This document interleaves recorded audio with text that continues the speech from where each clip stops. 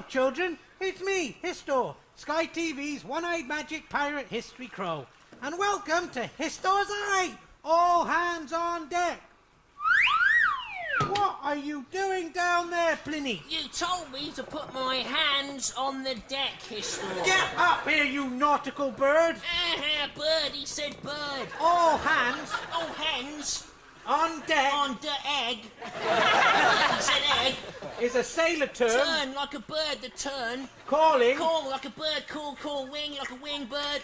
everyone Egg, hen. to action. Action, egg, hen. Egg, he said egg.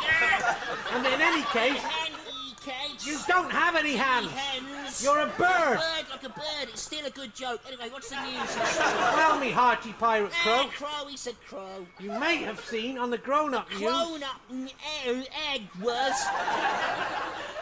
that many people many are calling for the drug The cannabis Drag, egg, canard. Canard is French for duck. to be made legal. Eagle like an eagle. But what is canard beak, Histor? To find the answer to that, sir. we must go all the way back Back like a bird's back. to 1967. 67. Egg.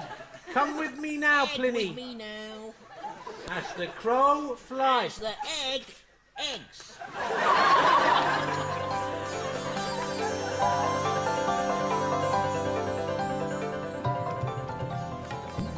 What place is this, Histor? This is the Woodstock Festival, where cannabis was invented.